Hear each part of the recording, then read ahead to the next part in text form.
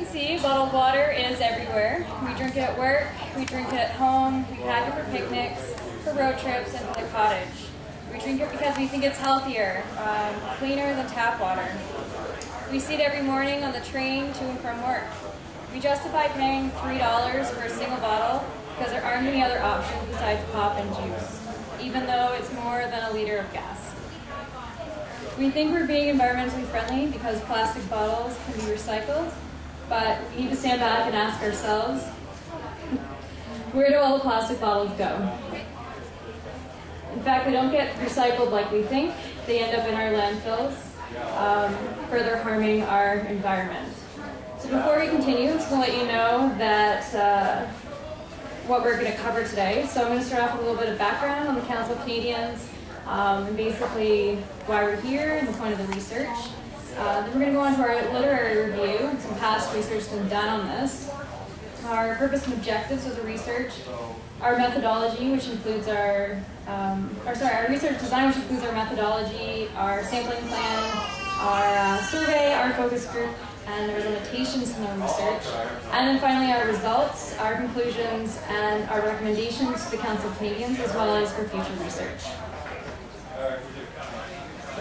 The Council Canadians is Canada's largest citizens advocacy group that was founded in 1985. More than uh, 70 chapters across the country exist today. Their ultimate goal is to bring Canadians together to act for social, economic, and environmental justice at both the national and international level. They currently have a campaign called Unbottle It. It involves concerned citizens visiting their municipal councils and local school boards to educate the public about bottled water being an unnecessary burden on the environment. The reasons that the council gives for backing this campaign are that bottled, the bottled water industry sells bottled water for large profits, plastic bottles are filling up landfills, and due to the increased burden that the water industry places on the water system, about 20% of Canadian municipalities have faced water shortages in recent years. The ultimate goal of this campaign is to promote public water services, demand that, that water be recognized as a human right, and restrict the sale of bottled water in public facilities. 30 municipalities to date have banned the sale of bottled water, and the COC hopes to further this campaign in the city of Barrie. As such, they were looking to find out the attitudes and perceptions of Barrie residents towards drinking tap and bottled water, and find out if there's local support for a bottled water ban. So we decided to do research on this topic, and hopefully we can help the Council of Canadians in their decision to go through with a bottled water ban campaign. So now we'll go through the literature review and basically in our literature review we wanted to see what was done in the previous studies that were done previously and uh, some of the gaps that we could uh, incorporate into our research. So we found that there were a lot of um, North American studies uh, that compared tap water preferences versus bottled water preferences. Um, two notable Canadian ones. Uh, one was done in Vancouver and the other one was done in Hamilton, Ontario, so not too far away and basically what we found were that residents don't have much confidence in municipal drinking water. Um, and some of these reasons for why they didn't choose it is because it was due to organoleptic preferences, which are the sight, um, the sight of it, so the look of it, uh, the smell of it, and the taste of it. Um, so that's what we wanted to look at in our study, see if that was also what was happening in Barrie. So the purpose of our study was to examine the perceptions of Barrie residents towards their drinking water. And first of all, we wanted to describe the attitudes of Barrie residents towards tap water and bottled water. And secondly, we aimed to explore the main factors that influence drinking water preferences in the city of Barrie. Uh, our third objective, uh, we also wanted to determine if uh, residents in Barrie would support a bottled water ban in public places. And we also wanted to profile um, the respondents that were answering our survey. So now we'll go into our methodology. Uh, we used a mixed methods approach for our project, um, and this means that we incorporated a quantitative um, approach and a qualitative approach.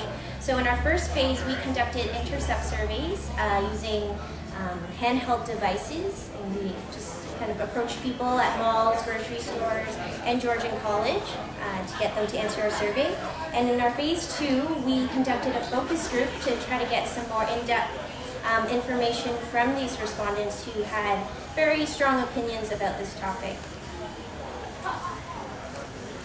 And our sampling plan. So there were two requirements that you needed to have for uh, to do our survey. Uh, you needed to be a resident of Barrie and you needed to be over the age of 15. And we, in our project, we were able to sample 317 people. So as Sandy said before, we had um, two phases in our research. Our first one was our intercept survey.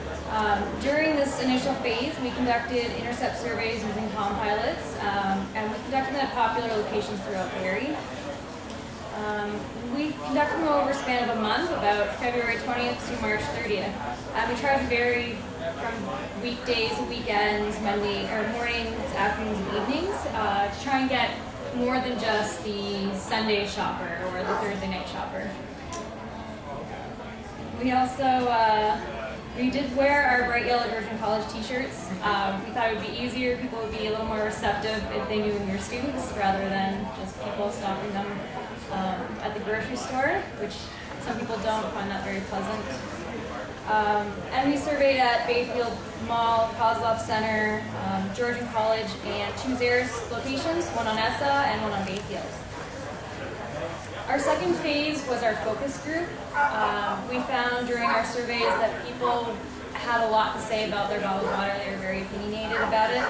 Um, so this allowed for those people that felt strongly one way or the other to be able to voice their concerns more than what we could um, collect on our Palm Pilots.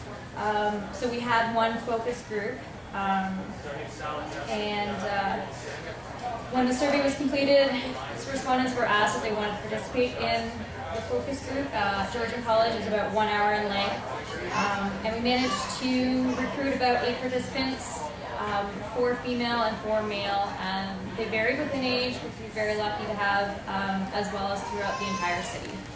Um, we had three components to our focus group. One was just a general discussion. Just asked what they thought was in their water, um, their overall opinion on tap water, bottled water, um, and of course if they would support a bottled water ban in the city. Um, second, which was the most important part I think um, we wanted to look at was if people could tell the difference between the different types of waters. We had a taste test. Um, we tested um, bottled water, tap water, as well as filtered water to see if people could tell the difference between the three of them. Um, and it was very interesting finding that nobody could tell the difference. It could be the type of water, maybe the location you were at, um, but anybody who actually guessed correctly it was it was a guess. People really couldn't tell the difference. Um, and we also had a word association activities. We just asked um, when you think bottled water, what comes to mind? Um, or tap water, that sort of thing. Um, and we had an incentive. We gave participants gift cards at the end to thank them for participating. Okay, so during the course of our study, we encountered some limitations, and we think it's important to, to discuss these limitations before we go into the results.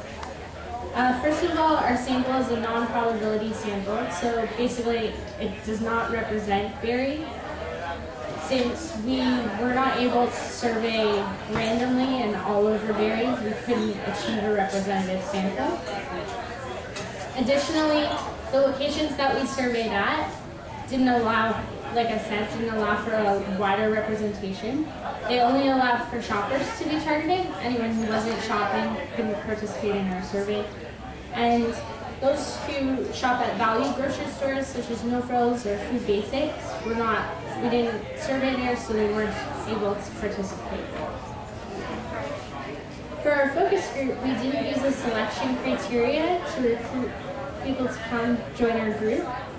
So because of this, all of our participants had similar views. Everyone was in favor of a bottled water ban, so we didn't get anyone any opinions on people who were not in favor. And we also feel that their social desirability could have been an issue with our focus group and our survey because people might have they might have thought that they would be judged based on whether they would say they were for a water bottle ban or against one. And we think that using a blind method, we could have, if we had done this, we could have eliminated the social desirability aspect. And finally, for our focus group, we offered incentives, which could have made some participants show up to the focus group just for the incentive and not participate as much as they would have without it. So now we'll move into our results section. Um, and so I'll start to talk about uh, some of the characteristics that we found from our respondents. Um, so we found that 48% of respondents actually prefer tap water um, and actually rated this water to be very high. Um, so this is really good for the council to know that most people in Barrie actually do consume tap water and are generally satisfied with it. Um, we also found that the majority of respondents are mid-range earners. Um, we saw no correlation between uh, income and their choice of whether they drink tap water or bottled water, which was an early assumption that we had. We thought that the more, the higher income bracket you were, the more likely you were going to drink uh, bottled water. Uh, we did find a significant difference between education and those who consume bottled water over tap water. We found that bottled water drinkers are um, generally less educated than tap water drinkers. So tap water drinkers um, had more of a post-secondary education. 37% of them had post-secondary education, um, so they either graduated from college or university. Uh, we also wanted to look at um, who the main bottled water consumers were. We found that majority of bottled water drinkers were female. They were 74%. Um, and also um, between the ages of 50 and 59. Um, we found there was a significant difference between genders when it came to the type of water they drank. Um, in regards to tap water, males and females were very similar, but as I said before, um, with bottled water, male and females differed greatly. Um, it could be explained by a few things. In our discussion group B, we asked them um, about maybe what draws people into drinking bottled water. Um, one participant who works at a pharmacy explained that she's um, experienced a lot of uh, young women who come in and purchase bottled water based on the way the bottle looks.